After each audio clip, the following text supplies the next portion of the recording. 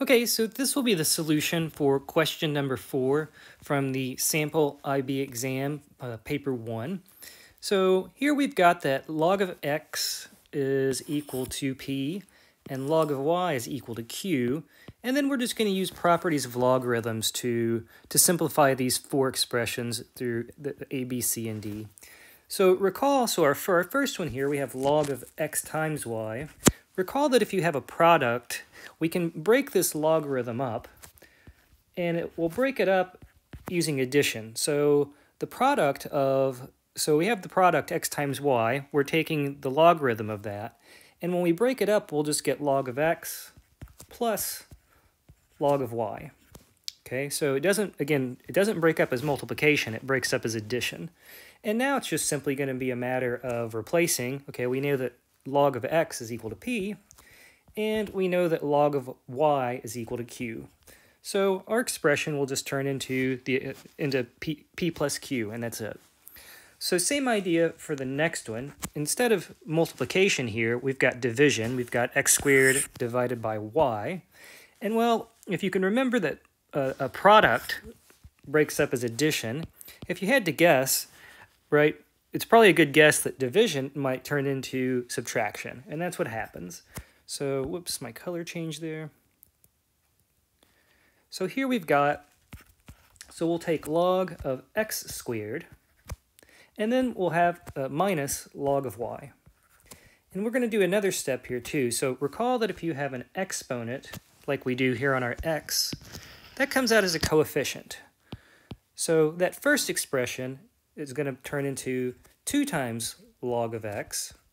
Again, we have minus log of y. And again, we'll just replace.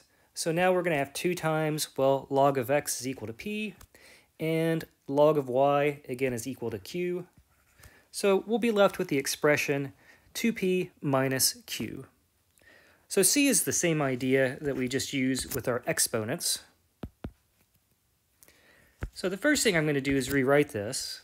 So we've got log of the square root of x, but recall that the square root of x is simply x raised to the 1 half power. And now I'm going to do the same thing. I'm just going to pull that exponent out front. So we'll have 1 half of log of x. And again, we'll just replace our log of x with p. So we'll be left with 1 half of p. Or if you wanted to, you could write that as p over 2.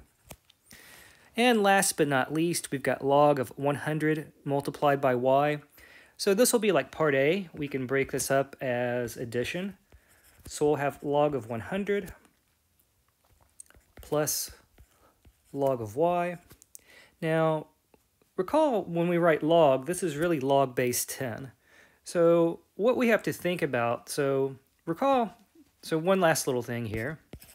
So if we have log base a of y equals, let's say, x, so this is total separate thing here, we can turn this into an exponent by writing a to the x equals y. So really it says to simplify this, so, imagine I wanted to simplify this logarithm, log base a of y, I'm really thinking a raised to what power gives me y a raised to what power gives me y? Well, 10 raised to the, so I'm thinking 10 raised to what power is going to give me 100?